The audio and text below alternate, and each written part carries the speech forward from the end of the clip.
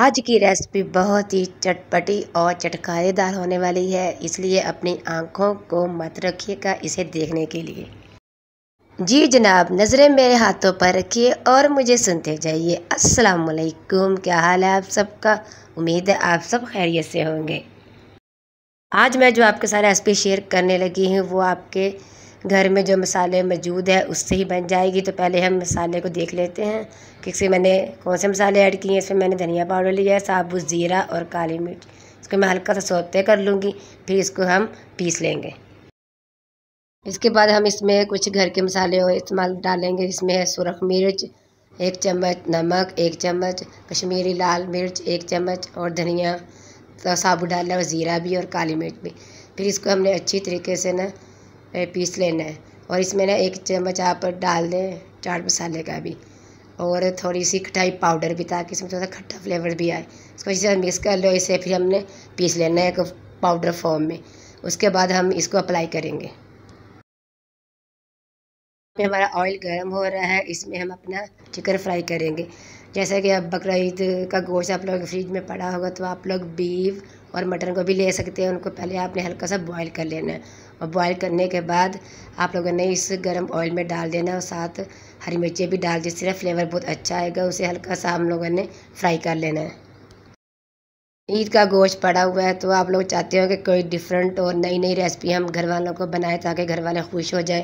تو یہ بھی ایک یونیک سی اور نیو ریسپی ہے، لیکن کیا پتہ آپ لوگوں نے بنا لی ہو۔ اگر نہیں بنا لی تو میری ویڈیو دیکھ کر آپ کو آئیڈیا ہو جائے گا اور آپ اپنے گھر والوں کو یہ مزیدار سی چٹکارے دار بوٹی کھلائیں۔ میں نے اس چکن کا استعمال کیا، آپ اس کی جگہ بیف اور مٹن لے سکتے ہیں۔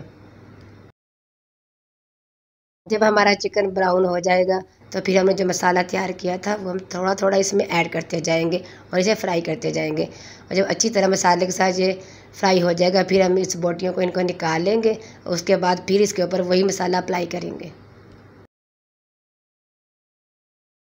اس کی فائنل لک تقریباً یہ سیٹ ہو گیا مسالے کے ساتھ۔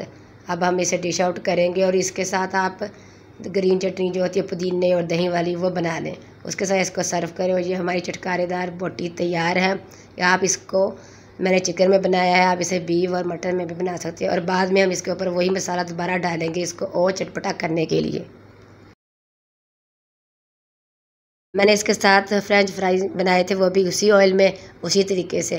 مطلب وہ ڈال دیے، آلو وغیرہ کو میں نے کٹ کر لیا تھا فنگر شیپ میں۔ پھر اس کے ساتھ ہری مرچی ڈال کے اچھی طرح سے نا فرائی کر لیا تھا۔ اور ساتھ وہی مسالہ ایڈ کیا تھا۔ تاکہ بچے خوش ہو جائیں۔ کیونکہ بچوں کو تو نا، آلو کی بنی ہوئی چیز بہت پسند ہے۔ بس اس طریقے سے گولڈن براؤن ہو جائے گا، تو اس کو ہم چٹکارے دار بوٹی کے ساتھ سرو کریں گے، اور تاکہ بچے اور زیادہ خوش ہو جائیں اور آپ کو بھی داغ وصول ہو جائے۔ اور اگر ویڈیو اچھی لگی ہے تو ویڈیو کو لائک لازمی کیجیے گا، اور اپنے دوستوں کے ساتھ ضرور شیئر کیجیے گا۔ انشاءاللہ پھر ملوں گی آپ کے ساتھ ایک اور زبردست ریسپی کے ساتھ۔ تب تک اپنا بہت سارا خیال رکھیے گا اور میں لاسٹ میں نا تھوڑا سا یہ سبزیوں والا رائتا بھی بنایا تھا جو میں اس کے ساتھ سرو کرنے کے لیے، جیسے میں نے ڈالا تھا ٹماٹر، کھیرا اور پیاز اور دہی چٹنی پودینے والی، وہ تو آپ کو بنانی آتی ہے اور یہ تھی میری ویڈیو، امید ہے آپ کو اچھی لگی ہوگی، اوکے، اللہ حافظ۔